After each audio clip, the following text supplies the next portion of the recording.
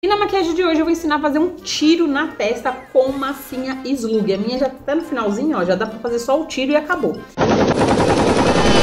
E sangue artificial. Esse sangue aqui foi eu que fiz em casa.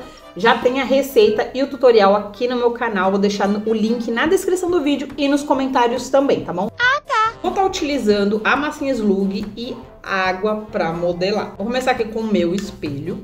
Limpo, né? Isso não dá pra nada. O segredo da massinha slug é você sempre estar com o dedo molhado e alisando ela. Se seu dedo estiver seco, a massa gruda no seu dedo e aí gruda de novo na pele e aí fica uma melequeira, você não consegue fazer o formato. Vou estar tá utilizando, ó, essa medida aqui.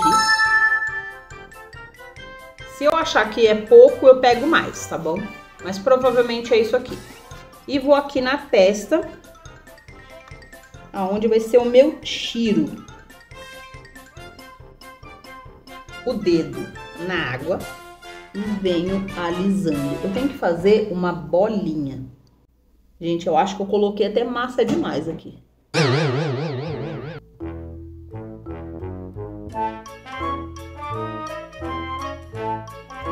Vim com o cabinho do meu pincel, molhar na água e furar bem o meio dessa massinha. Deixa eu ver se dá pra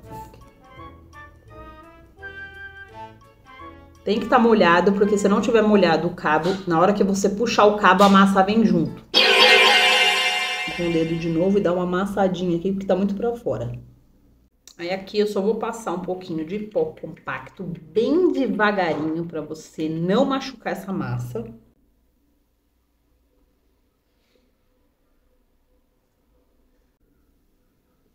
Vou pintar de preto lá no fundo, ó. Então vem aqui, eu só dou uma carimbada, ó. Só para dar uma profundidade. Aproveitar meu batom vermelho que tá aqui. Passar para ver se vai ficar bom. Não tenho certeza se vai ficar bom, mas eu vou dar uma carimbada lá também. Vim com uma esponjinha aqui e dando uma coloração aqui em volta.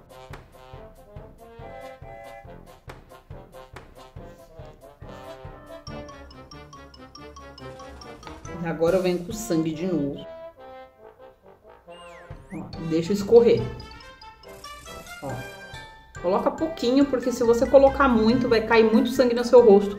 E aí ninguém vai prestar atenção no tiro e sim nos respingos do seu rosto.